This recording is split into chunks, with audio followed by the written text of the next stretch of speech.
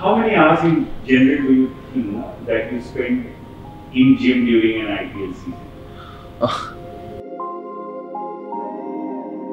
I think quite a lot of time.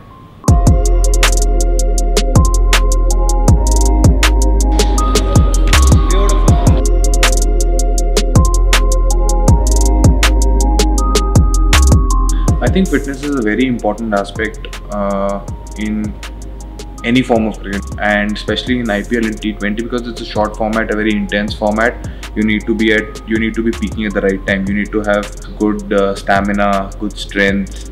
That just adds value to your skill and adds value to your fielding as well. You can't come into the IPL and think that okay I will work on it. You have to come into an IPL with a particular set of uh, physical attributes that you can just work on during the IPL to be consistent.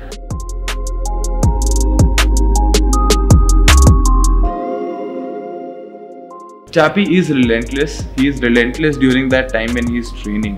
Otherwise, off the field, uh, he's a he's a great guy. You can have great conversations with him. You need that hard taskmaster, especially in an IPL team, that just brings out the best in you because at, at times you just feel that you can't do that extra rep or you can't run that extra set but if you're Mumbai Indians player you have to have certain physical standards and I think uh, that is right what he expects out of you as a cricketer as a Mumbai Indians player.